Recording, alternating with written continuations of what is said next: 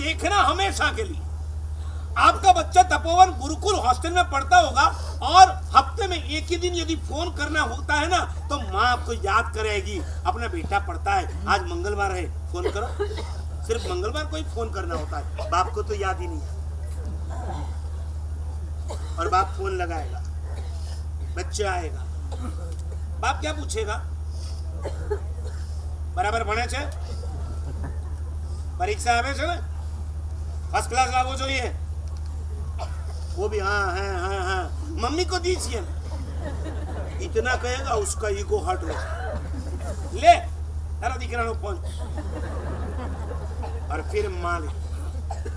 माँ का पहला प्रश्न क्या होगा बता बेटा, बराबर। खाता तो? और आप देखना, जब भी आपका बच्चा हॉस्टल में होगा और बाजू वाला कोई वहाँ जाता होगा और आपको पता चलेगा, उसकी माँ को पता चलेगा, बाजू वाला वहाँ तपोवन जाता है तो एक मिनट, मेरे बच्चे को सेव बहुत अच्छी लगती है, चिवड़ा बहुत अच्छा लगता है, वहाँ पे मिलता होगा कि नहीं मिलता होगा, आप ले जाइए मेरे बच्चे। मेरी बात को आज मैं अहमदाबाद हूँ, मेरी माँ बम्बई, दादर। मेरी भी एक इच्छा थी कि जीवन में जब मेरी निश्रा में पहली बार ये छरी पालता संग निकल रहा है तो मेरी माँ भी यहाँ आवे और ये सब देखे। आज अचानक मुझे सरप्राइज़ दे दी महेंद्र भाई। पता भी नहीं था कि ये पराक्रम वो करने वाले, लेकिन जब मुझे बिठाया गया, तब मैं आपको नहीं देखता था, मैं उन्हें याद करता था। आज यहाँ पर मेरी माँ बैठी होती, वो कितनी खुश हो जाती।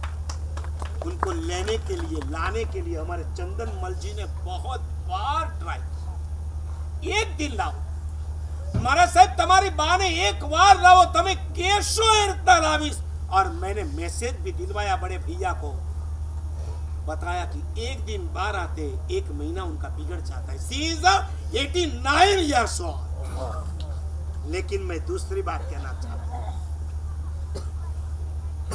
आज यदि विहार करके मैं बंबई चला जाऊँ दादर मेरी माँ को पता चले कि मैं आज घर पे आने वाला हूँ।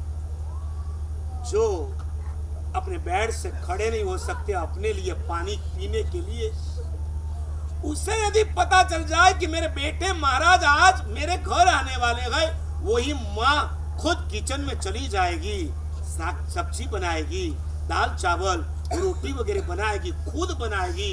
और मुझे प्यार से वेराएगी क्योंकि आज मेरा बेटा और इससे भी आगे कहूँ एक बात। मान लो कि संख्येश्वर में मैं पहुँच गया। मुझे पता भी नहीं है और चंदन भाई ने बाय फ़्लाइट मेरी माँ को बुला